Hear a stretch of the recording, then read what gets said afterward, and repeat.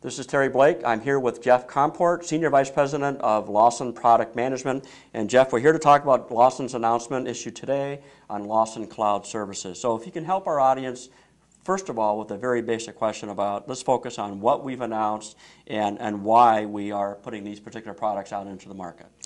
Back in November, we announced at our investor conference that uh, in the future we'd be moving towards announcements related to the cloud. How can Lawson begin to provide applications that customers can use from the cloud? Today, what we're doing with our announcement is showing that we're offering a catalog, a portfolio of applications that now are going to be available on the cloud. What we've announced is a partnership with Amazon to make our products available on the Amazon Elastic Cloud.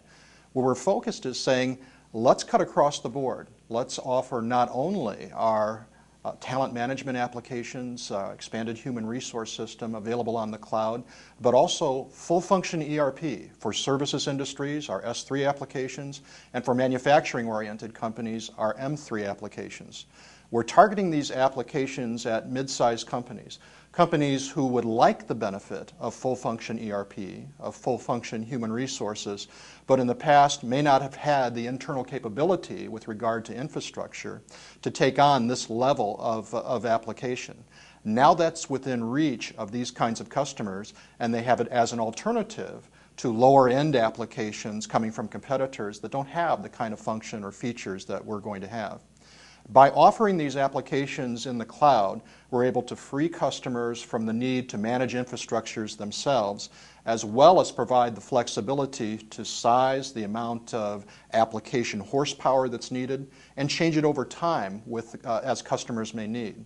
Additionally, we're also introducing flexible pricing subscription pricing, which pulls together right to use, maintenance services, and application management services all into one monthly price so that a customer is able to have the experience of cloud pricing and cloud platform uh, all together uh, to show at a price point that's comparable to what we're seeing from competitors, they can have full function ERP.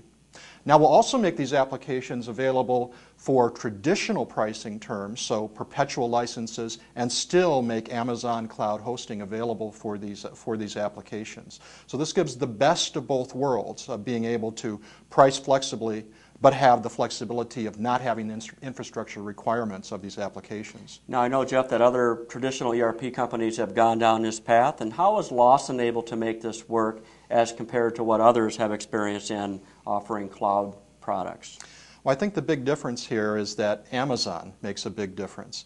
Amazon gives us access to a vast array of shared resources. It really is cloud in essence that we've got tens of thousands of servers that are available, vast amounts of storage. These are pools that we draw from in a multi-tenant fashion to be able to allocate the capacity that we need to individual customers and be able to adjust it over time.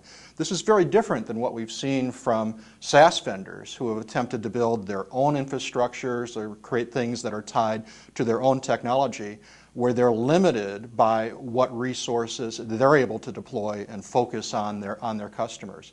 Because we're letting Amazon be the infrastructure provider and using their vast array of shared resources, we're able to put applications on top, focus our investment and energy on the applications, on how we bring them to market and how we manage the applications to the customer, knowing that we can create unique situations for each customer and deploy these, uh, these applications. Okay, so Lawson remains an application vendor. Amazon is providing the infrastructure.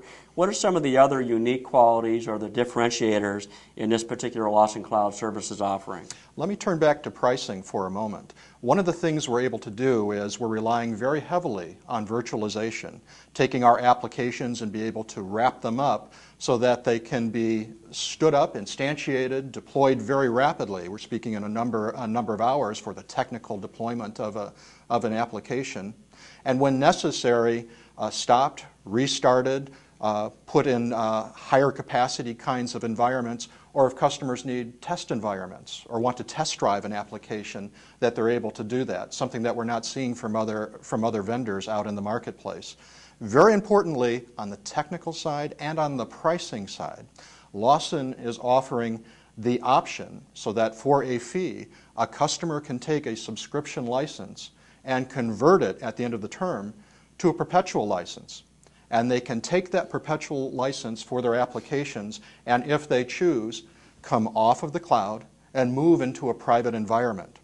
Now, when we look at competitors out in the marketplace that have tied their applications to their unique technology, there's no chance for them to take the applications private, as you're a slave to that infrastructure that's proprietary and that, that vendor has built in the cloud. Not really the cloud, is it? Well, by using Amazon, what we're able to do is create this portability between on premise and the cloud and potentially other cloud environments uh, in the future. Very differentiating.